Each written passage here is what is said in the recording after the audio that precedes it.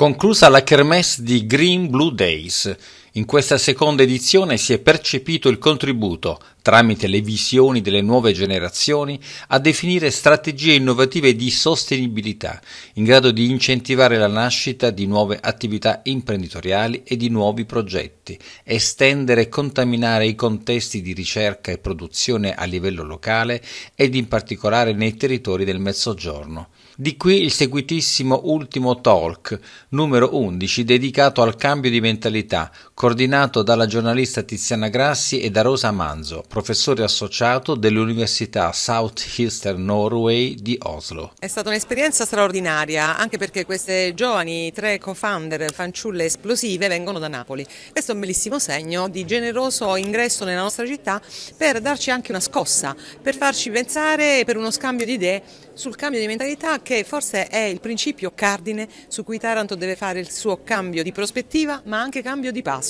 Quindi è, è stata un'occasione per noi tutti oggi presenti in queste giornate per guardarci allo specchio e capire quali sono le criticità ma anche i nostri punti di forza. Taranto attraversa una transizione eh, ecologica, digitale, ma io dico deve attraversare anche una transizione umanistica e sociale, cioè per intenderci non basta l'ammodernamento tecnologico, occorre anche coinvolgere l'insieme della città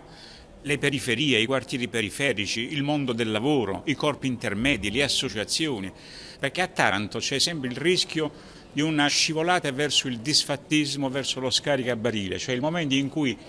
c'è qualcuno che assume l'atteggiamento, ma sì, non cambia niente, lo Stato ci ha abbandonato, la politica ci ha tradito, mentre io invece vedo segnali positivi di dinamismo, di realtà positive, di giovani che innovano, di imprese che si mettono in discussione, di scienziati, di ricercatori, l'università, le amministrazioni, quindi abbiamo tante risorse positive, ma se vogliamo vincere questa sfida occorre coinvolgere l'insieme della città. Quindi un vivo apprezzamento e un ringraziamento alle tre amiche napoletane che hanno organizzato questo evento, ma come dire, facciamo squadra e la realtà di questi giorni facciamola vivere, facciamola conoscere nelle scuole, sui social, in modo che sia un esempio, un riconoscimento per loro, un esempio per i tarantini, a muoversi e non aspettare in modo passivo il fatto.